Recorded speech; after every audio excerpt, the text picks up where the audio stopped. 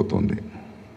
And అందరూ అందరికి కావాల్సిన వాళ్ళే ఎటు సైడ్ వెళ్ళాలి అని అర్థం కావట్లేదు.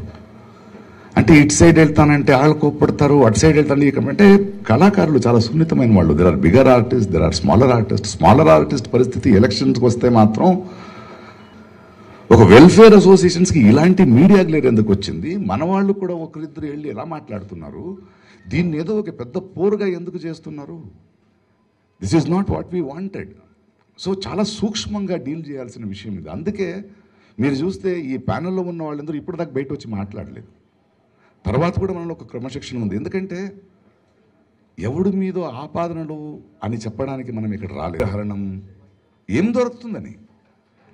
అండ్ దాన్ని కూడా ప్రతి ఒక్కరూ అలా చూడాల్సిన అవసరం ఉందా నాకు అర్థం కావట్లేదు. So this time we decided we will work silently we want to build an association we want a sustainability in this association we need a clarity we need somebody who works పదవి కోసం కాదు ఇది. వెంటనే మనం announce చేయగానే ఎవడెవడు ఏం పోటీ చేయట్లేదా మీరు అంటే చెప్పామండి. It is an internal matter